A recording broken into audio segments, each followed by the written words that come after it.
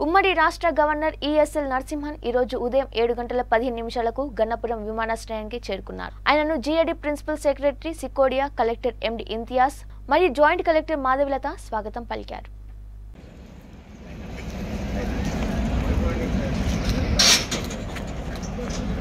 My